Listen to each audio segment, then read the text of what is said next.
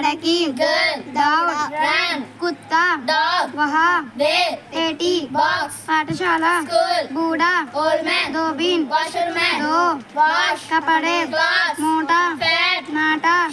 नीचे अंदर बाइल नारियल ऊपर सब ऑल काटना आम